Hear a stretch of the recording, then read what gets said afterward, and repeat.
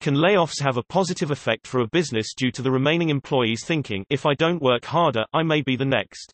Letting go of an unqualified member is unavoidable sometimes.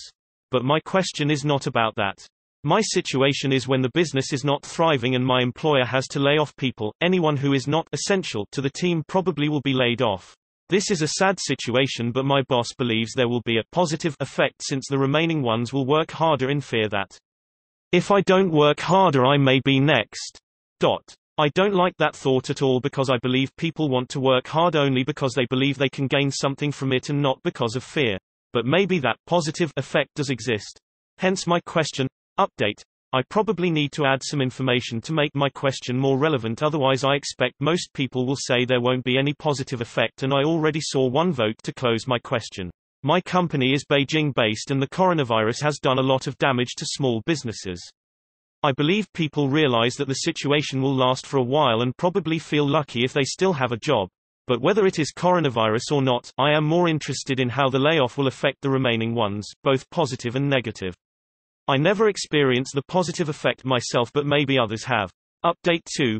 We're a software company. The definition of work hard to my boss is simple, deliver fast with less bug. I deliberately left this out b, c I was afraid my question would be sidetracked. The same reason I did not mention the coronavirus at first. I want the discussion to focus on the psychological impact on the remaining coworkers. Update 3. I really appreciate all the answers and comments I got so far. I also expected most of the answers would say no. So I decided to play the devil's advocate otherwise there is no need to ask this question in the first place. So what about Steve Jobs firing the manager of MobileMe on the spot? My purpose to link this story was to let people know it in case they did not. I know the article actually criticized Jobs' action. What about Satya Nadella's mass layoff in his early years of being CEO of Microsoft? The remaining ones will work hard in fear that if I don't work harder I may be the next. Much more likely that the remaining ones will think better jump, before I get pushed. And, the best of them will find it easiest to find new jobs with other companies.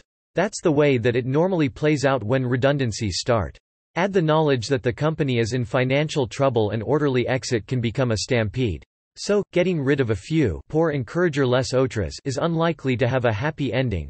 And let them hate me, so long as they fear me didn't turn out too well either winking face. And an, I don't know how I forgot this one, but thanks, at JSON for your comment the beatings will continue until morale improves smiley face. This situation is how I got into contracting.